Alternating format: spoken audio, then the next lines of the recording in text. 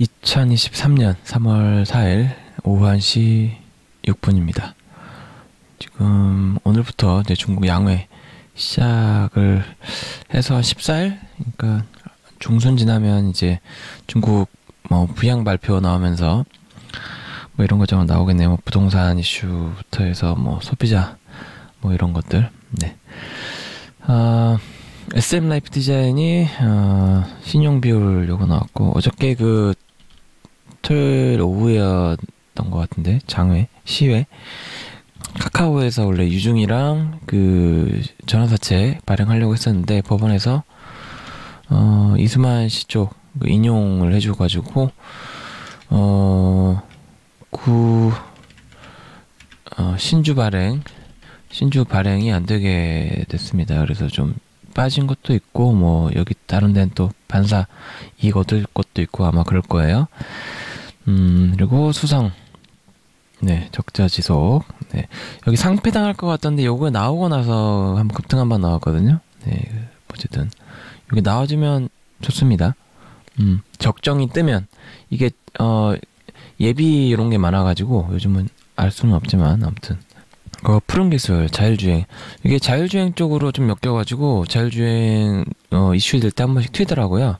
뭐 삼성 쪽이랑 또 연, 결뭐 이런, 이런 게 있어가지고 어 이제 계속 주기적으로 한번 튀어줄 확률은 높다 보시면 되겠고 어, 카카오랑 또 이런 거 주주가치 훼손한다 양쪽에서 계속 이렇게 싸우고 있습니다.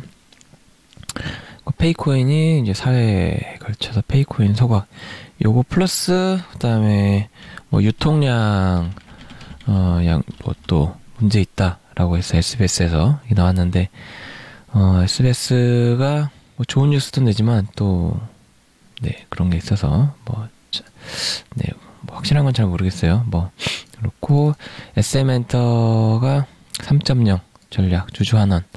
뭐 이거는 뭐 좋은 건데 일단 하이브에게 다시 가는 방향이기도 하고. 근데 하이브도 어차피 어, 주주에게 어떻게 좀 한다 뭐 이렇게 한다라고 했지만 하이브도 어, 주주 수익률 제고를 위해서 잘 하고 있냐라고 하면 꼭 그렇지는 않아서 뭐 그런 것좀 애매한 뭐 부분이 있지만 앞으로 개선은 될 거라는 거는 확실할 것 같습니다. 그리고 OTT 쪽에 지원을 한다고 했고요. 요거랑 별개로 금요일 날좀 2차 전지와 더불어서 OTT 엔터 쪽 좀 괜찮았습니다. 그래서 키이스트 같은 경우는 어, SM 라이프 디자인 떨어진 시외에 빠짐에도 불구하고 잘 버텨줬고 GS25에서 와인을 이제 특가 행사하는데 여기에 그 와인 그 뭐죠 그 구분하는 그 자격 있다는 사람이 있어서 그런지 모르겠지만 아무튼 행사 뭐 그 영향도 있는 것 같아요. 그리고 한국 자 해장품 제조 배당 나왔고 요거 이게 뭐 분양 어 예정이라고 합니다. 네.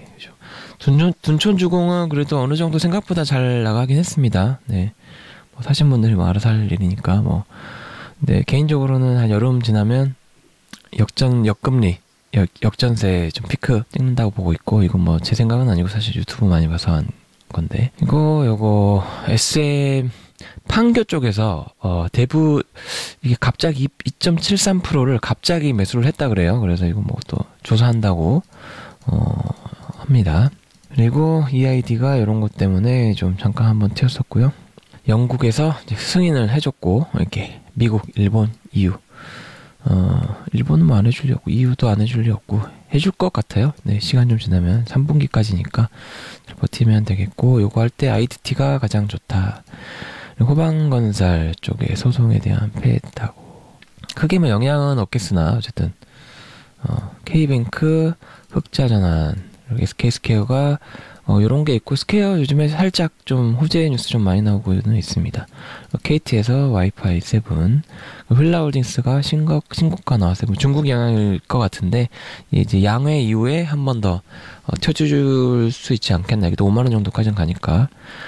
그리고 해운사 쪽이 좀 뭐 HMM은 좀 그러나 뭐 다른 데는 좀 괜찮지 않나 라는 얘기가 좀 있어가지고 미코가 VI 터지면서 어, 저항 구간 찍었습니다. 또 매도가 찍어줬기 때문에 어, 뭐 80분들은 또 파셨을 테고 세원 이은 씨 어, 요게 나왔는데 여기도 그렇고 뭐 좀 많이 빠졌는데 여기 지금 제가 몇주 샀던가요? 그 상패 시즌 지나면 작업할 거라서 네. 제이홉의 솔로 원더 스트리트인가 뭐 그런데 팬향한 진심 저도 군대 가기 전에 내는 앨범이라고 합니다. 그리고 SM이 어, 연금이 원래 8, 8점 몇 프로인가 됐는데 4%를 줄였더라고요. 어, 좀 특이한데 주총이 영향을 좀 덜 미치려는 어, 미치려는 어, 영향 같습니다. 그리고 비트코인이 이제 3월 정오 지나면서 이렇게 뱅크런 터지자 이렇게 패닉셀 전체적으로 빠졌고요. 그다음에 SM이 이걸 했지만 SM은 또 적대적 M&A다라고 했다고 합니다. 뭐 그렇다고 합니다. STX부터 한번 볼게요. STX. 네.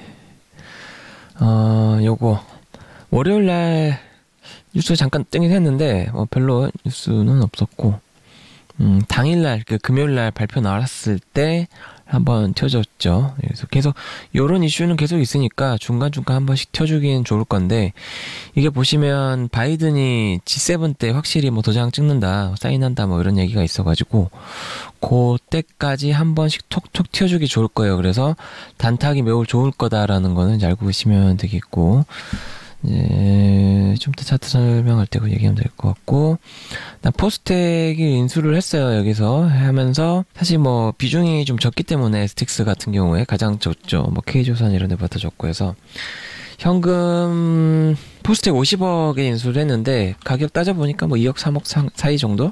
정도 되더라고요. 얼마 안 되는데, 뭐, 들어오면 좋죠. 네, 들어오면 좋으니까.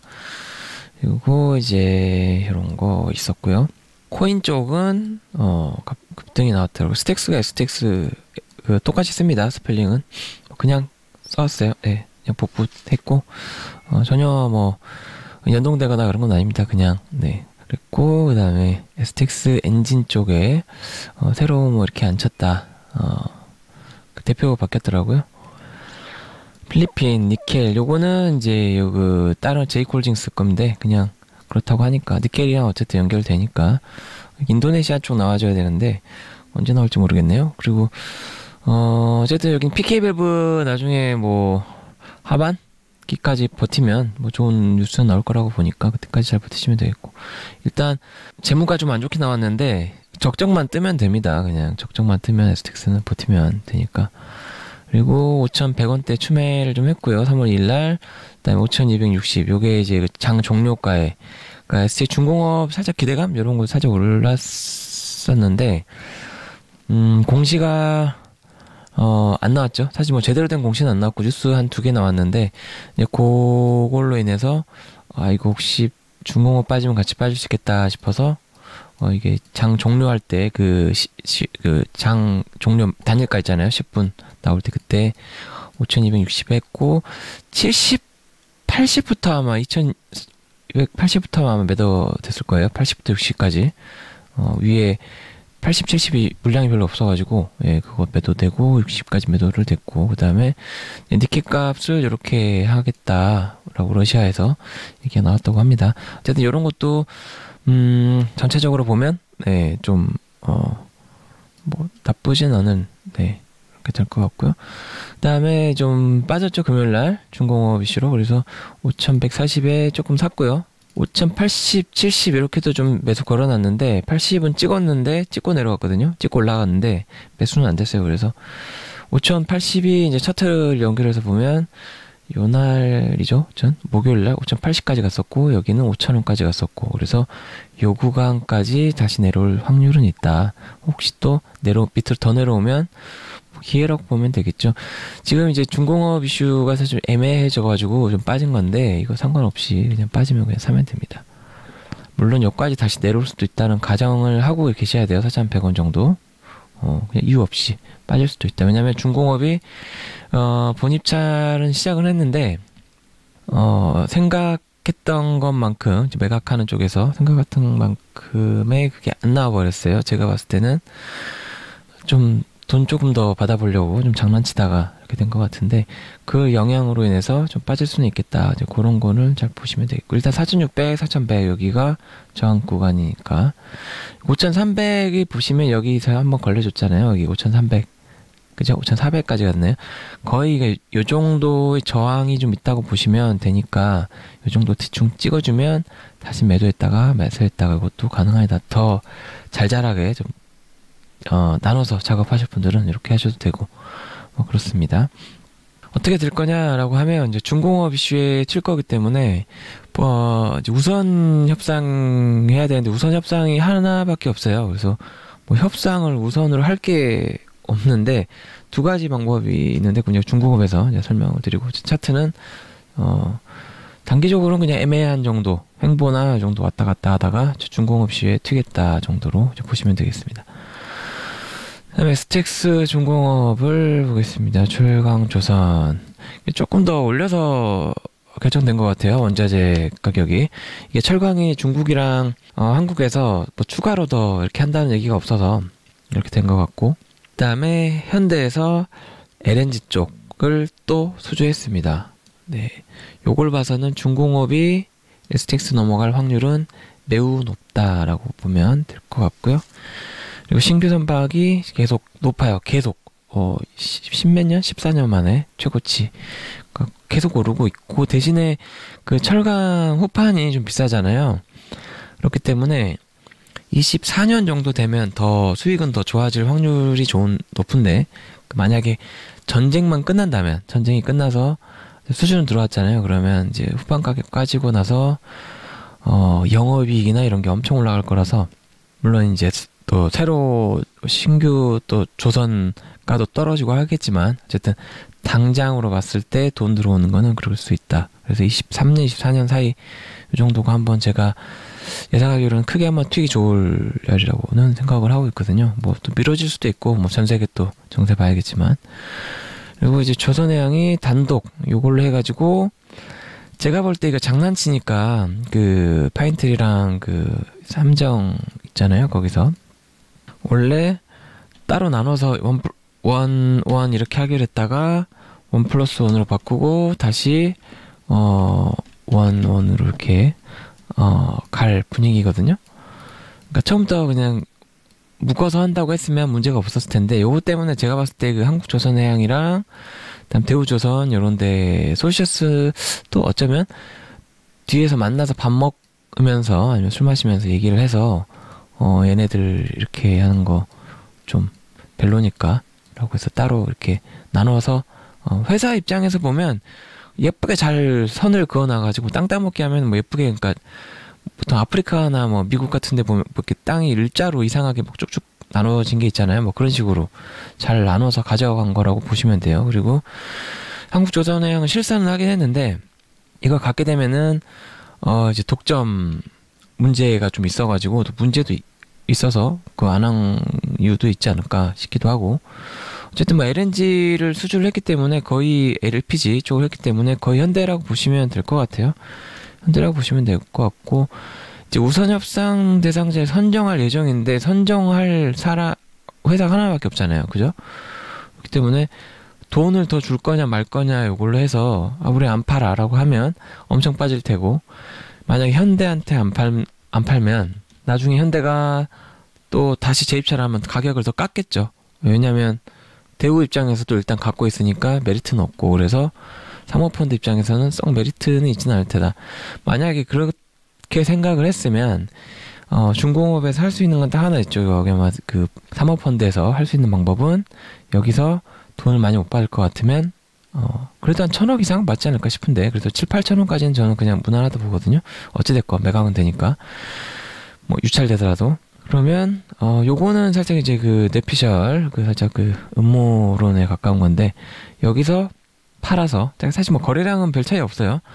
밑에서, 어, 물량을 좀 다른 쪽 계좌 여러 개를 합쳐가지고, 산 다음에, 어, 많이 올랐을 때, 어, 정리해버리는, 어, 그런 방법이 있겠죠. 그러면, 프리미엄이나 이런 거 별로 못 받았을 때 어, 이런 주식 차, 차익으로 어, 수익을 또 따로 챙겨가는 어, 그런 게 나오지 않을까 개인적으로 이런 거. 요게 그러니까 어, 주식 불법 거래죠. 그러니까 만약에 혹시라도 이런 생각을 했다면 아마 그렇게 했을 수도 있겠다. 이런 생각을 왜 하냐면 한국이라서 그래요. 한국은 워낙 어, 좀 그렇습니다. 네좀 그런 게 있어서 아무튼 뭐 그런 이유가 아닐까.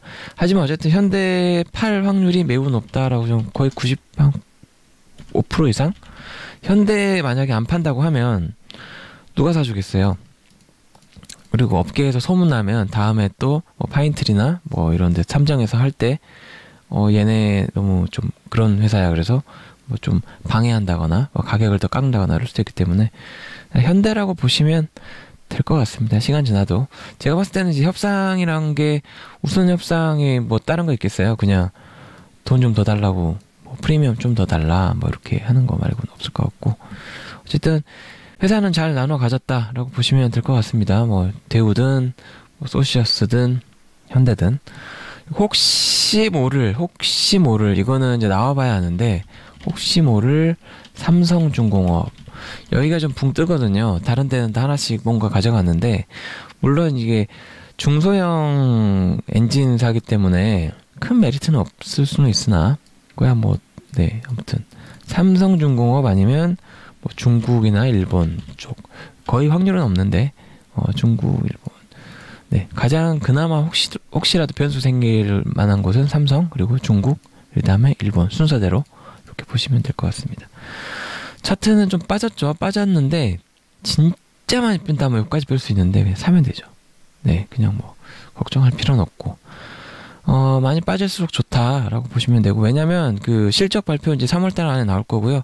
매출 변동 떴잖아요. 많이 번 걸로 올해 덜 더 벌 예정이고 주가는 올라갈 거고 매각이 되든 안 되든 뭐 매각 이슈로 어쩌어쩌 되더라도 예전에 제가 이제 두산 인프라코도 그 샀었거든요. 뭐 올라간다 만다 이렇게 해도 결국 올라갑니다. 네, 그냥 올라가니까 어디까지 갈 거냐 하면 최소한 이 정도, 이 정도, 이 정도 툭 튀어졌으니까 진짜 못 가도 만원 이상은 간다고 보면 되겠죠. 네, 걱정할 건 없다. 어, 99% 이상, 네, 최소 이 정도, 이 정도는 보고 있습니다. 그리고 현대에서 가져가게 되면 이제 매출일 거니까 뭐 더 길게 봤을 때는 어, 살짝 올랐다 빠지더라도 더 장기 보유하면 쭉 우상향 되겠죠. 어, 그럴 수밖에 없겠고, 네, 그렇습니다.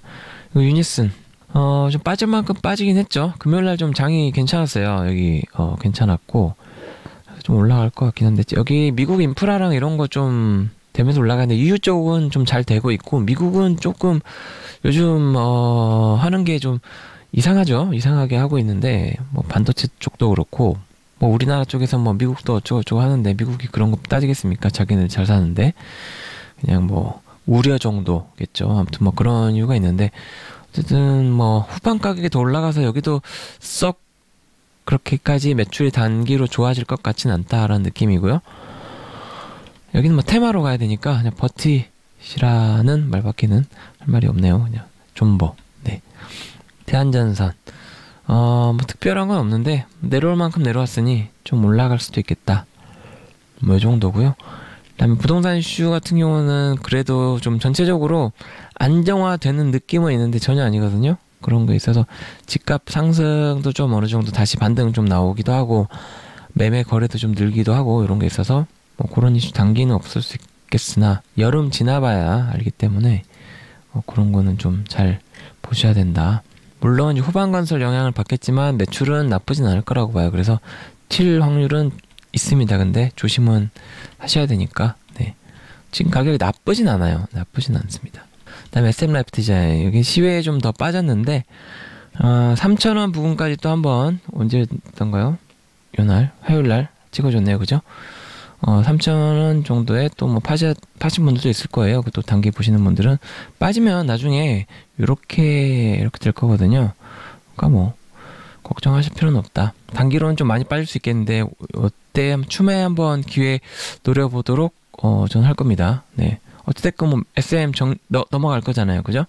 어, 정리되면 넘어가는 그 타이밍 전후로 해서 한번 또 틀 겁니다. 어떤 식으로든. 네, 그건 걱정 안 하셔도 되고.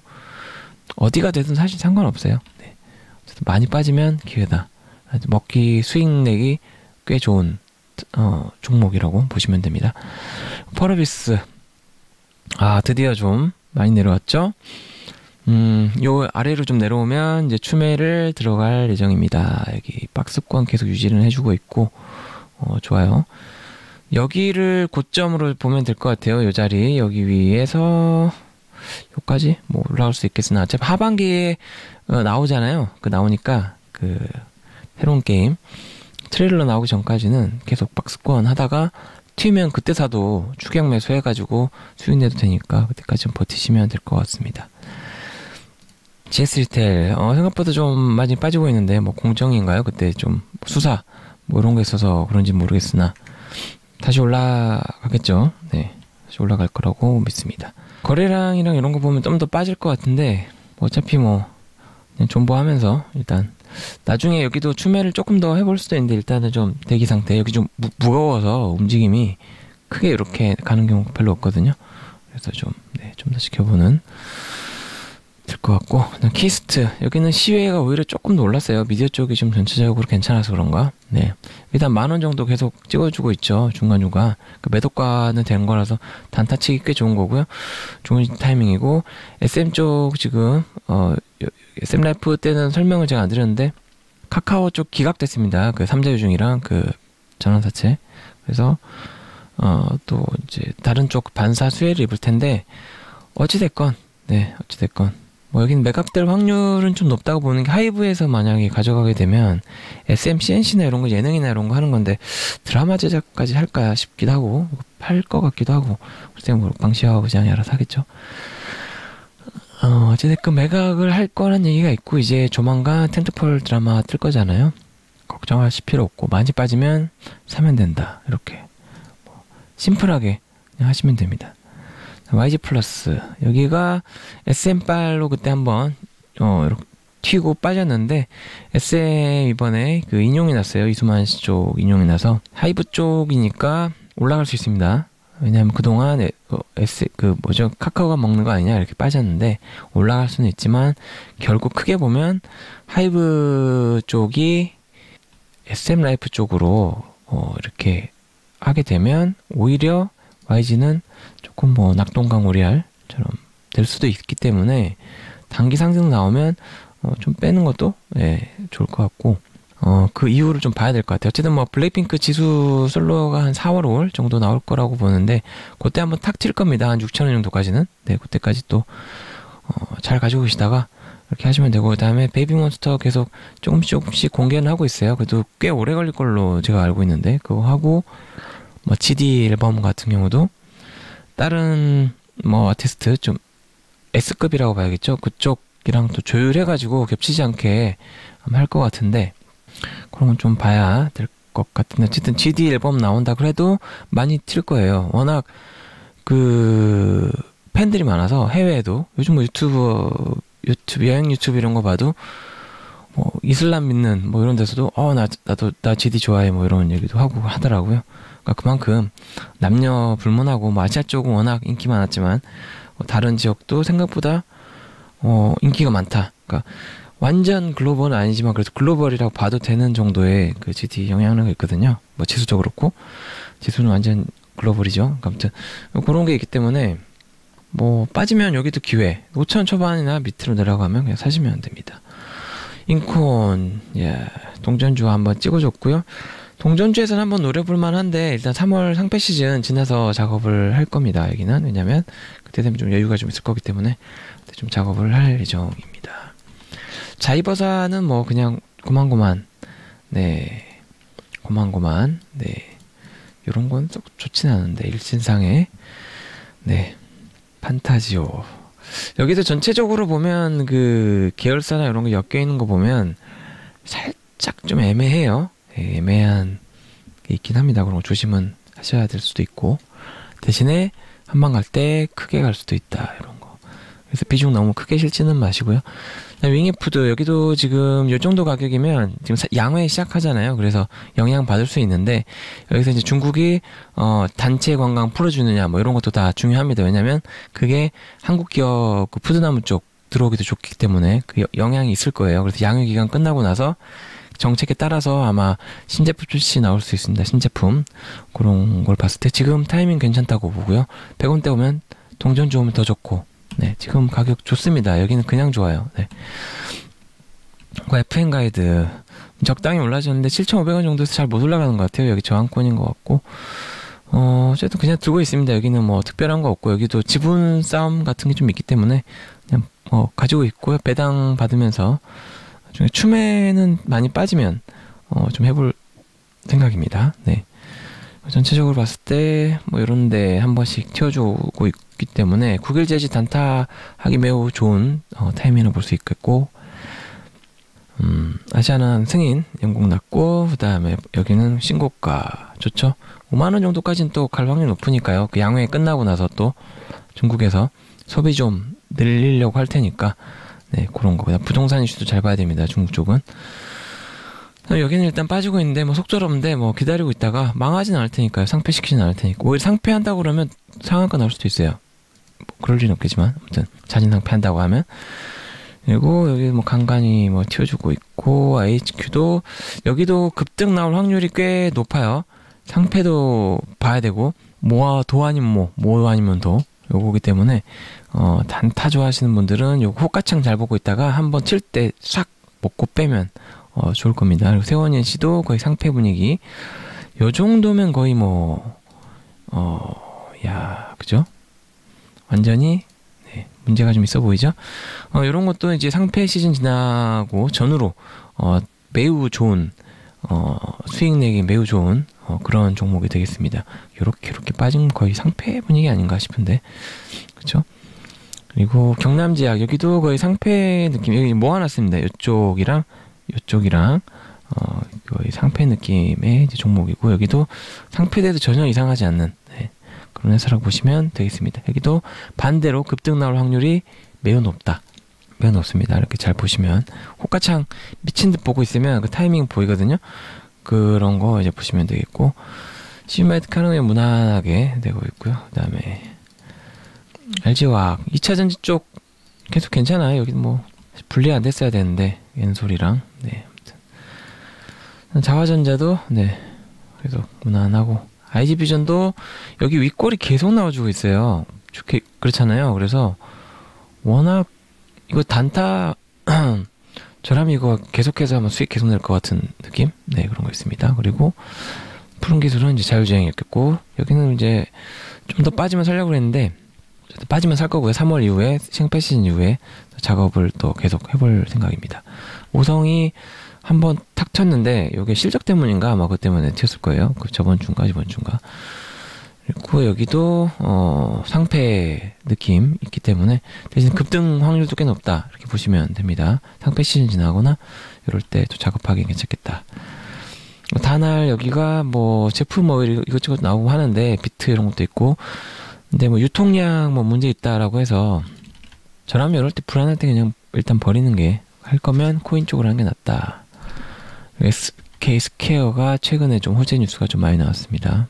KT는 계속 빠지고 있기 때문에 여기는 오히려 기회가 될 수 있어요. 많이 빠지면 기회 줍줍할 수 있어. 3월달 이후에 한번 저도 좀 들어가 볼 것 같습니다. 제사 통신사 영향으로 한번 더 빠지면 그때가 기회가 아닐까? 많이 빠지면 망할 회사 아니잖아요. KT 망이 워낙 다 깔려 있는 데다가 뭐 여기는 뭐 국가 기업이라고 보면 되니까 한국전력처럼. 다음에 미코가 드디어 어 제가 말씀드렸죠 밑에서 그냥 사시면 된다고 네 맞고요. 뭐 별거 있나요, 그죠? 페노션도 생각보다 좀 많이 올라왔어요 전체적으로. 네. 운임 지수가 좀 올라왔다고 네 합니다. 그리고 여기는 좀 애매한데 여기 그 매각 얘기 있잖아요. 워낙 규모가 커서 몇 군데였긴 한데 그래도 한번 뭐 작업해볼 만한 무거워서 예전처럼 막 이렇게 올라가지는 않을 것 같고 좀 음, 한 1, 20%뭐 노리, 노리는 정도. 여기 35만 원 정도 찍었죠, 그죠? 그리고 이렇게 이렇게 이렇게. 여기 딱 보면 그 뻔한 게 있으니까 그냥 그런 거 보시면 그래도 완전 장터 아니라면 이렇게 작업하면서 현금 늘리시는 거 좋을 것 같고요. 조선 쪽 금요일날 좀 많이 빠졌어요. 그 영향일 수도 있고. 그리고 하이브는 음 올라가겠죠 이제? 월요일날. 그리고 삼성전자 여기 반도체법 어쩌고 저쩌고 있죠 여기. 아, 가장 큰 게 중국에 10년간 투자하지 마라. 아 그뭐 업그레이드 하지 말라. 그, 그 장비랑 이런 거 이게 좀 크고 금요일 날 전체적으로 그그 미디어 엔터 쪽 좋아가지고 여기도 사실 뭐 이 정도면 살 가격 아닌데 그래도 7만 원대 그냥 사도 괜찮긴 하거든요. 굳이 안 사도 되지만 제본 마이 마그네틱 여기 빠졌을 때 좀 사놓으면 괜찮을 거예요. 여기도 네, 아직은 안 사고 있습니다만 네.